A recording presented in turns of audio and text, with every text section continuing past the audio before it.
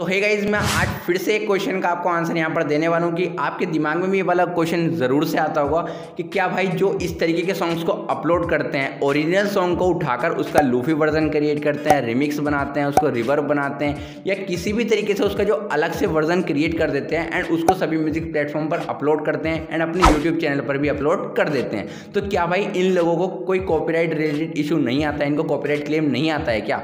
भाई इसी वीडियो में मैं आपको इसी क्वेश्चन का आंसर देने वाला हूँ तो चलिए दोस्तों वीडियो को स्टार्ट करते हैं। तो भाई सबसे पहले मैं आपको बता दूँ कि जब भी कोई भी बंदा किसी भी ओरिजिनल सॉन्ग को उठाकर इस तरीके के वर्जन्स में उसको कन्वर्ट कर कर अपलोड करता है सभी म्यूज़िक प्लेटफॉर्म पर तो उसको म्यूज़िक प्लेटफॉर्म पर तो कोई भी इशू नहीं आता है कॉपीराइट का जब तक कि जो उस सॉन्ग का ओरिजिनल क्रिएटर है उसका आर्टिस्ट है उसका सिंगर है उस, उसको प्रॉब्लम जब तक ना हो।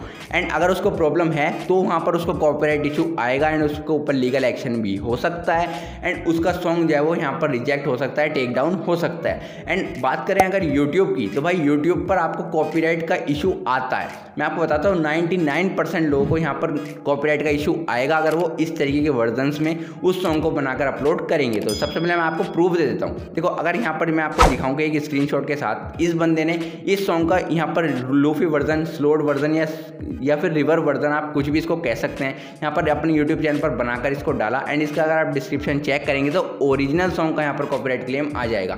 तो आपको ये नहीं सोचना है कि अगर हमने कोई भी ओरिजिनल सॉन्ग उठाया एंड उसका हम थोड़ा सा अलग वर्जन क्रिएट कर कर यूट्यूब चैनल पर अपलोड करेंगे तो उस पर कॉपीराइट क्लेम नहीं आएगा। उस पर आपको ओरिजिनल सॉन्ग का कॉपीराइट क्लेम यहाँ पर आ जाएगा। एंड कुछ ऐसी zero zero point zero one percent ऐसी कोई वेबसाइट है, जो कि भाई ऐसे सॉन्ग्स पर भी कंटेंट आईडी आपको शेयरिंग में प्रोवाइड करती है, यानी कि जिसका ओरिजिनल सॉन्ग है फिफ्टी फिफ्टी शेयरिंग के हिसाब से ऐसी कंटेंट आईडी आपको प्रोवाइड करती है। एंड उसके बारे में मुझे जानकारी नहीं है, क्योंकि भाई बहुत ही कम, यानी कि अगर आप हंड्रेड लोग इस तरीके के सॉन्ग्स को क्रिएट करते हैं तो उसमें से एक ही पर्सन को उस वेबसाइट के बारे में पता है। मुझे इसलिए नहीं पता है। अगर आपको पता है तो कमेंट ज़रूर से कर देना। अगर आप इस तरीके के सॉन्ग बनाते हैं जिससे कि व्यूवर्स को हेल्प हो सके। मुझे देखो इसलिए नहीं पता है क्योंकि मैं इस तरीके के सॉन्ग्स के ना ही तो किसी के अपलोड करता हूँ, ना ही मैं इस तरीके के सॉन्ग्स को बनाता हूँ। तो अगर जिसको पता है वो कमेंट ज़रूर से कर देना। मैं अगली वीडियो में उसको कवर कर लूँ एंड पब्लिक को भी हेल्प हो सके। लेकिन मेरे हिसाब से नाइन्टी नाइन परसेंट लोगों को ओरिजिनल सॉन्ग का कॉपीराइट क्लेम आ जाता है यूट्यूब पर। चाहे आप उसको कोई सा भी वर्जन यहाँ पर उस सॉन्ग को क्रिएट करके अपलोड कर दे।